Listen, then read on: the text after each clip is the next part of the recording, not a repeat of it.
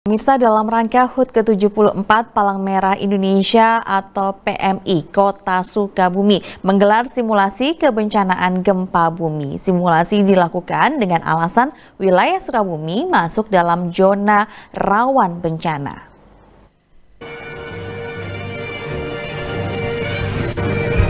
Guncangan gempa yang cukup keras membuat pelajar histeris dan berhamburan keluar menyelamatkan diri.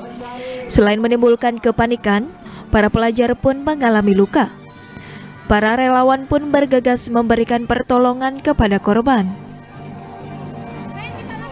Peristiwa tersebut merupakan bagian dari skenario simulasi kebencanaan yang diselenggarakan oleh PMI di Lapang Merdeka Kota Sukabumi.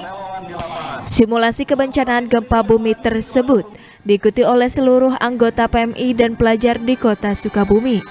Tujuan digelarnya simulasi tersebut agar masyarakat bisa menyelamatkan diri dan meminimalisasi dampak dari bencana. Daerah termasuk kota Sukabumi harus siap siaga dengan potensi bencana yang dimiliki oleh daerah tersebut termasuk kota Sukabumi. Itulah sebabnya harapan terbesar kami di ulang tahun yang ke-74 PMI ini bagaimana PMI mampu bersinergis bersama pemerintah daerah bersiap siaga seandainya ada bencana yang terjadi di wilayah kita. Pada kesempatan tersebut, PMI Kota Sukabumi juga mendapatkan bantuan satu unit kendaraan tangki air bersih dari PMI Provinsi Jawa Barat.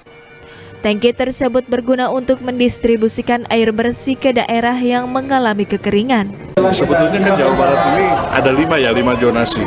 Di antara satu zona ini adalah di ini untuk wilayah Bogor, di cover oleh Kota Sukabumi. Ya. Karena di Kota Bogor sendiri, Kabupaten Sukabumi, Kota Sukabumi sendiri, Cianjur ini di backup oleh satu zonasi sini. Nah, karena potensi ini dan di sini lebih mudah untuk mengakomodir, akhirnya tangki ini kita taruh di sini. Penggunaan mobil tangki tersebut akan dimaksimalkan untuk membantu warga yang membutuhkan air bersih.